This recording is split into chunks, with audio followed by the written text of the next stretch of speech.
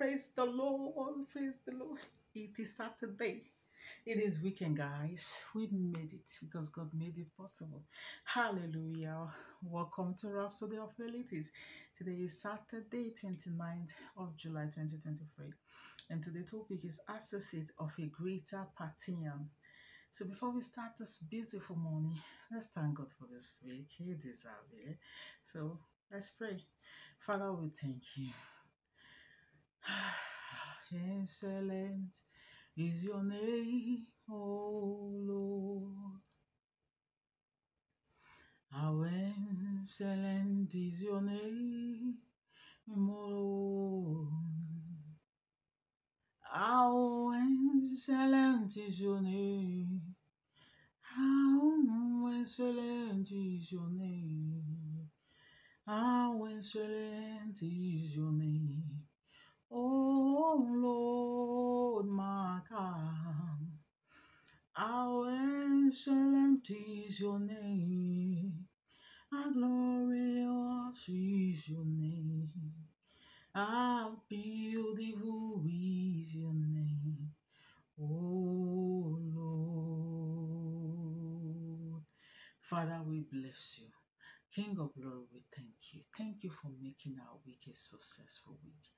We cannot thank you enough for that. Thank you, Father.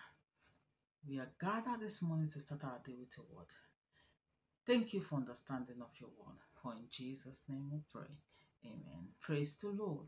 Hallelujah. Once more, welcome to another edition of Rhapsody of Realities. And today's topic is Associate of a Greater Pantheon. Second Peter 1 verse 4 says, Whereby are given unto us exceeding great and precious promises, that by these ye might be partakers of the divine nature, having escaped the corruption that is in the world through lust. That's Second Peter 1 verse 4. The image Apostle Paul conjures in our mind in the verse above stem from a Greek mythology. It had to do with the Greek Pantheon, or the collective group of gods headed of Zeus, king of the gods. So, the actual expression partakers of the divine nature is the Greek tarsophosis, which means associate of the god kind. Thus, Peter was referring to a greater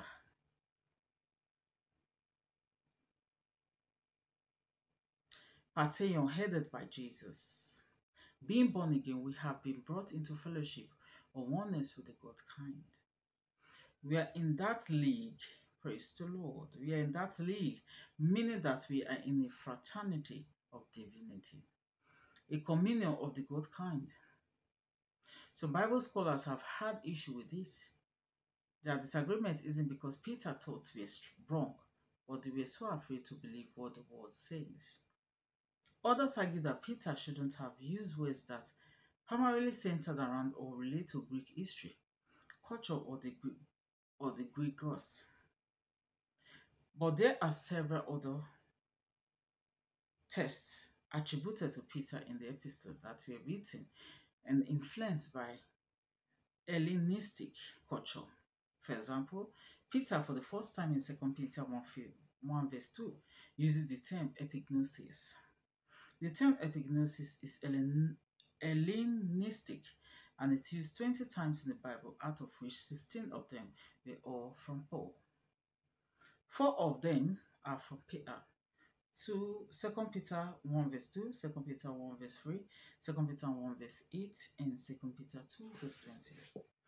Epignosis is a higher form of knowledge. It means exact, precise, or absolute knowledge that can only be attributed to God. The Hellenistic, the Hellenists of Grecians in their religious city believed that only the gods knew everything.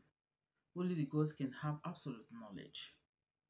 If this Hellenistic thought woven into scripture are accepted, they should any why should anyone disparage the Hellenic, the Hellenistic inference or understanding of the pattern that Peter seeks to communicate? You belong in the fraternity of God kind, having been born again to God class, with his divine life in your spirit. Now you are indestructible, impregnable, and always victorious. Hallelujah. Praise the Lord. Having been translated from the ordinary realm of mankind to the supernatural class of the God kind. Praise the Lord. That is how great we are. Even English cannot even, the sentence, we, we are biting tongues. because they cannot really contain how powerful we are. Oof! Great word. Great word to the associate of a greater person. That is me. That is you. Praise the Lord. They cannot. There's no English word for our greatness. There's no. They will bite. They will bite. It's going to be too long. Praise the Lord. So, people of God, you are a great personality. You serve the greater God. Hallelujah. Yes, we are powerful. We are all powerful. Praise the Lord. Hallelujah.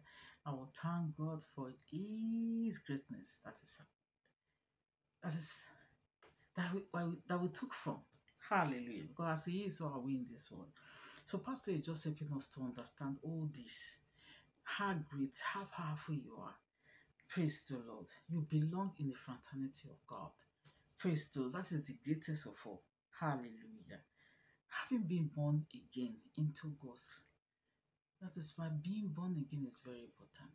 And if you're here, you've not given your life to Christ, this is an opportunity for you to do so. After hearing all this, all you have to do is repeat the prayer of salvation with me this morning. Oh Lord God, I believe with all my heart in Jesus Christ, Son of the living God. I believe He died for me. And God raised Him from the dead. I believe He's alive today. I confess with my mouth that Jesus Christ is the Lord of my life from this day. Through him and in his name, I have everlasting life. I am born again. Thank you, Lord, for saving my soul. I am now a child of God. And if you repeat this prayer with me, congratulations to you. You are now a child of God. All you have to do is, is read your Bible, get to know what He is, who Jesus is, and who the Holy Spirit is to you. And bombard yourself with faith-filled messages such like this. And look for a believing church and worship there. Hallelujah. So, with that being said, let's take the confessions together. I am associate of the God kind in a fraternity with divinity. I am born into God's class with his nature and character in my spirit. I have been translated from the ordinary realm of mankind to the supernatural class of the God kind. Hallelujah. Praise to Lord. For that study, you can look at Psalm 82, verse 6 to 7, John 1, verse 12, and 1 John 1, verse 3 one year Bible reading plan. Romans 4 verse 1 to 25 and Psalm 48 to 48. Psalm 45 to 48. Two year Bible reading plan. Luke 11 verse 45 to 54 and Judges 4. So at your leisure time you can go through the scriptures and you'll be indeed blessed in the name of Jesus. What a great time we had this morning. So please, if you're my new subscriber, please click on the subscription box and on your notification bell so that anytime I upload a video like this, you will first be notified. And please, you can share this video as well. So as you do so, may God bless you. So before we go, let's pray together. Father, we thank you. We bless you. We honor you. We thank you for your word we have had this morning. Indeed, we are blessed by your word, O Lord. Thank you, Father, for keeping us alive for through this week. Thank you for your provision this week for us. And thank you for making every crooked way straight this week for us. Indeed, we are blessed to have you as a Father. Thank you, Father. Thank you, Jesus. Thank you, Holy Spirit. For in Jesus' name we pray. Amen. Thank you so much, guys. You have a fabulous weekend. Enjoy your weekend. I'll see you next week by the grace of God. God bless you. Bye.